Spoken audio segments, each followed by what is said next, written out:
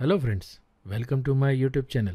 Today I'll teach you how to export GridView to Excel using JavaScript and jQuery in ASP.NET. Before moving ahead, I would like to request you to please subscribe to my channel and press the bell icon. So let's start. We'll start by adding a GridView control.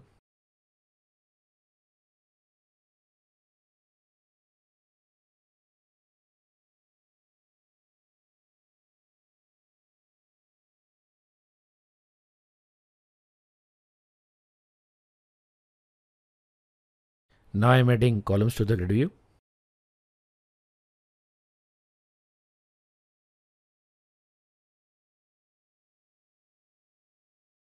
I'll be adding three BoundField columns, customer ID, name and country.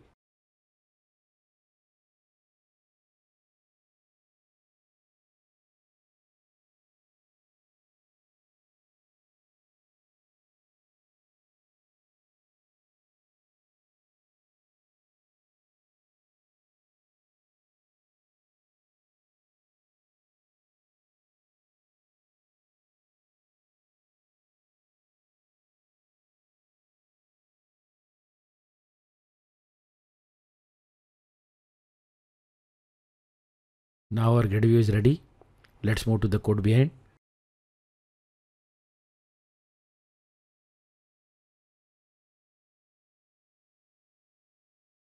Now I'm adding a namespace system.data. I'll be making use of dynamic data table to populate the grid view. Now inside the page load event handler, I am writing the if not is post condition Now first I am creating a data table object.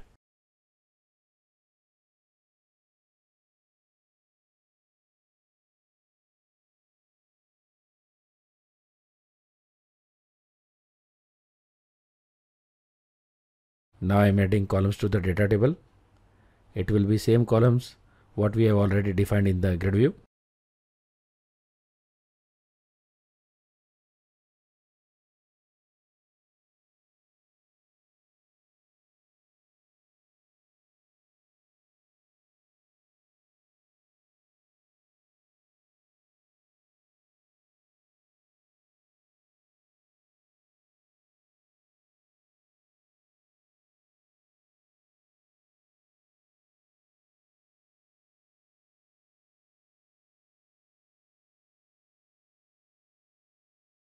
Now I'm adding some rows to the data table. The grid view can also be populated from database, but in this example, it is not a requirement and hence I am making use of a dynamic data table.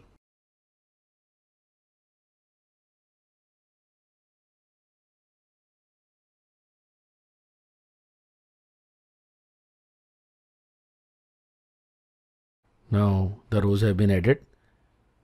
Now I'll assign the data table to the grid view and call the data bind method.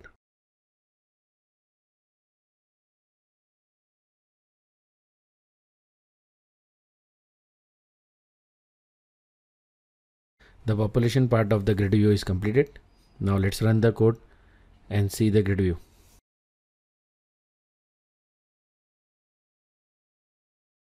So it is working perfectly and the grid view is displaying data from the dynamic data table.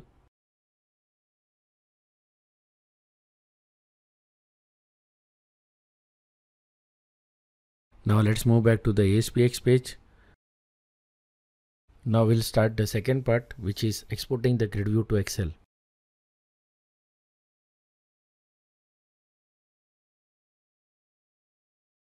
So now I am adding a button. On the click of this button, the grid view will be exported to Excel.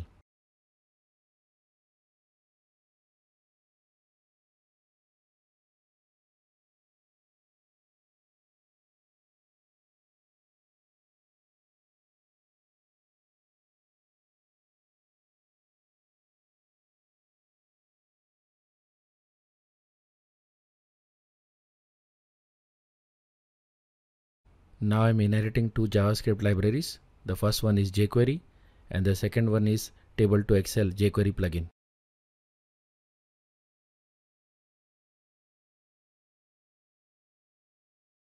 Now I'm adding script tags within which we'll write the code to export the grid view to Excel.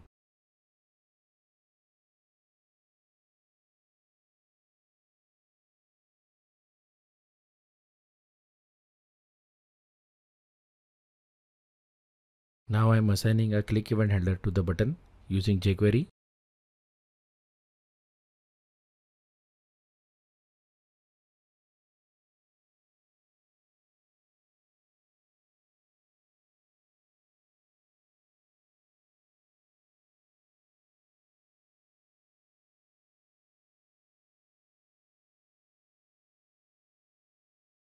Now I am referencing the grid view using jQuery selector I am making use of wildcard feature of jQuery selector.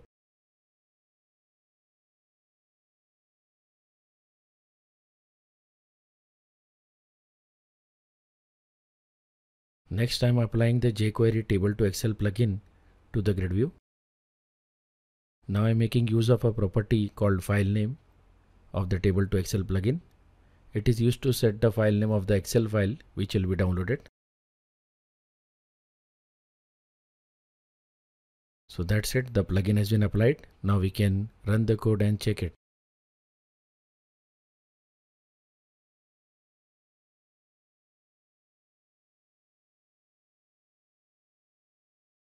Now I'm clicking the export button. As you can see, the browser is showing the option to save the file. This warning can be ignored. The grid view has been exported to Excel successfully. So with this we come to the end of this video. The sample code and demo links are available in the description.